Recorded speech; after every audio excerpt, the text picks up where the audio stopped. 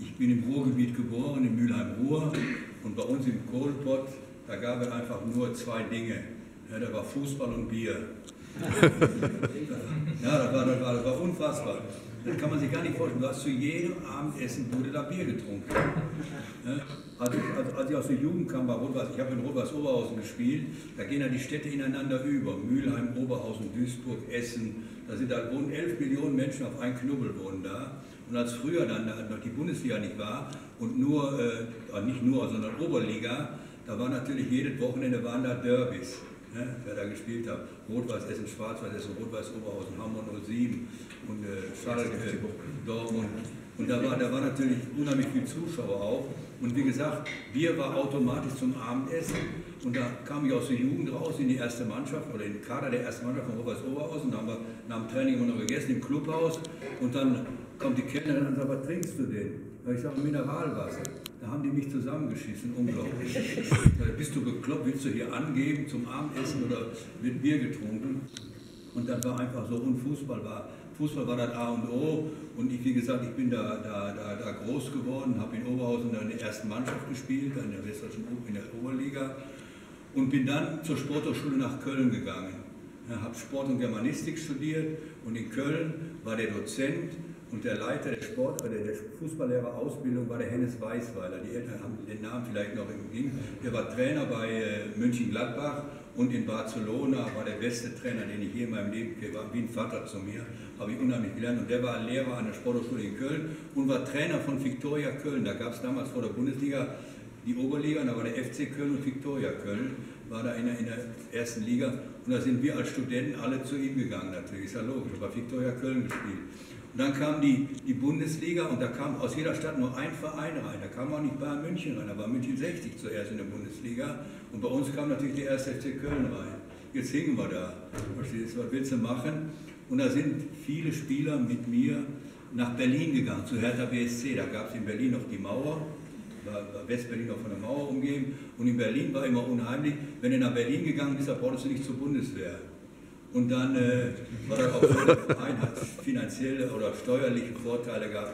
Da sind wir, sind wir zur Hertha gegangen. Verstehst du? Haben geschrieben, Jürgen Sundermann, deutscher Nationalspieler, zum ersten Mal in Genf. Super, super, wie wir das geschafft haben, den hierher geholt haben. Und dann kam das Spiel gegen, gegen Saisoneröffnungsspiel gegen AC Turin.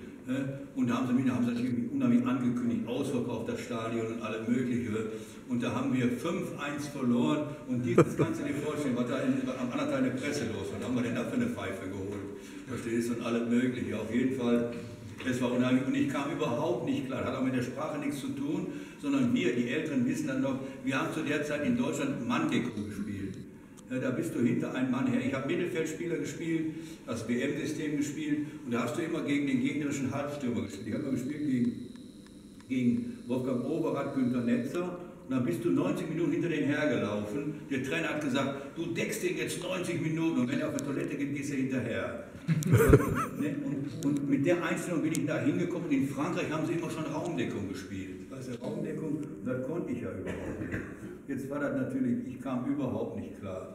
Dann haben die natürlich dauernd geschrieben, was ich für eine Pfeife bin. Die größte Pfeife, die sie jemals gekauft haben. Und mittlerweile habe ich dann auch Französisch gelernt, habe ich dann alles verstanden, was da in der Zeitung stand.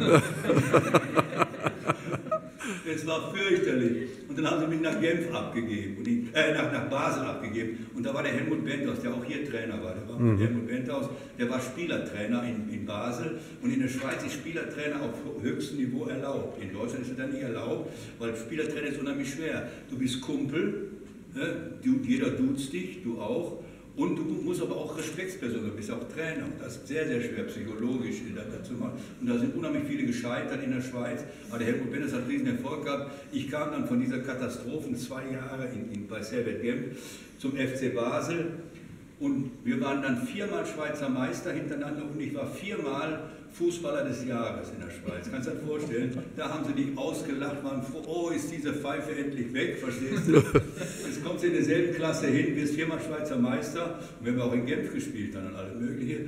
Und ich war viermal Spieler des Jahres. Und dann passiert etwas Unfassbares.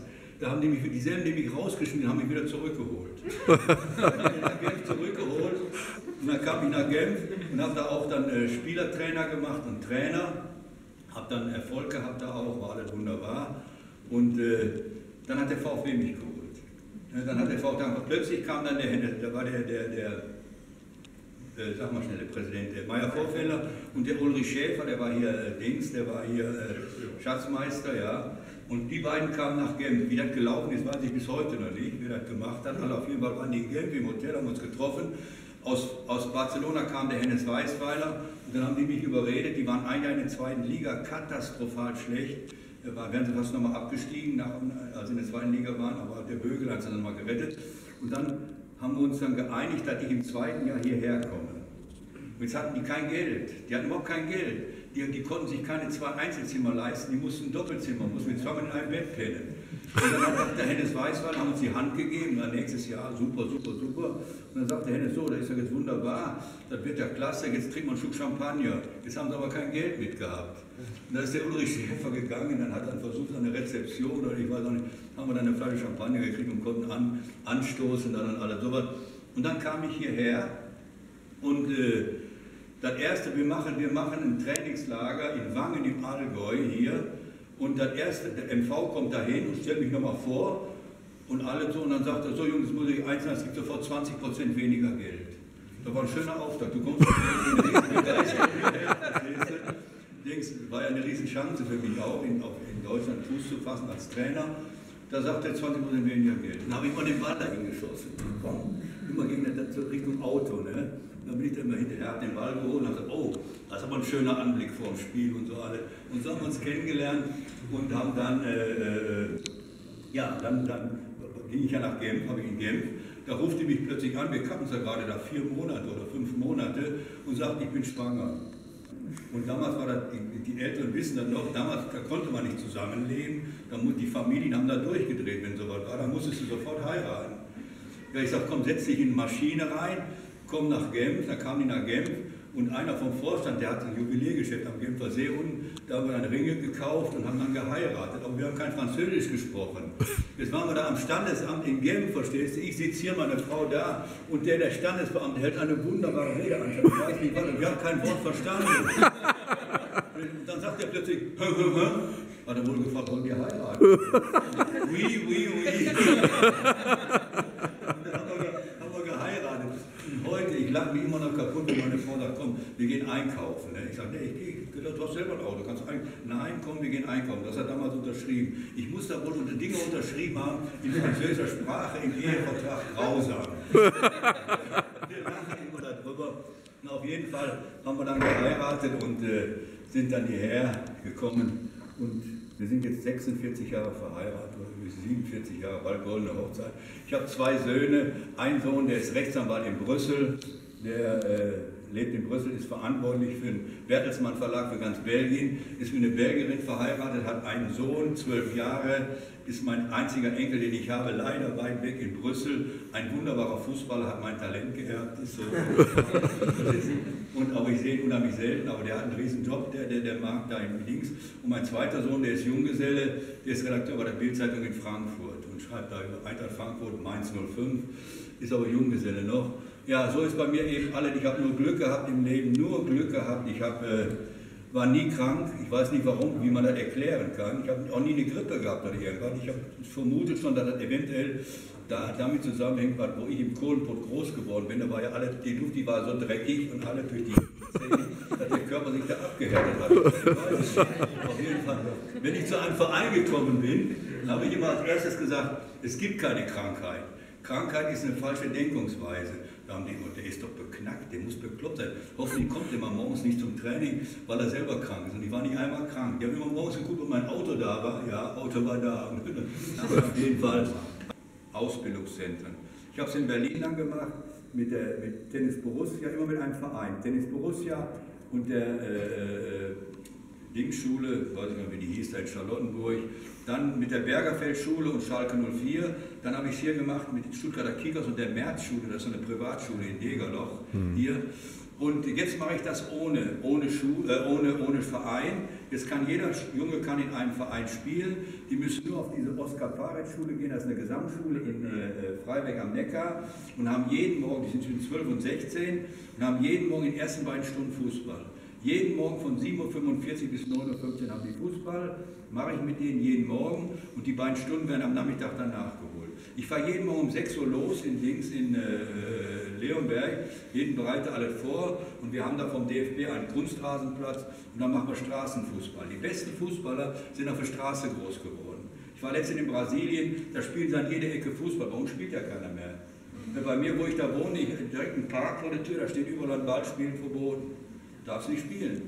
Und die besten Fußballer sind auf der Straße groß geworden, ne? Zweikämpfe. Und dann mache ich mit denen jeden Morgen, die kommen schon ganz früh hin mit einer riesen Begeisterung.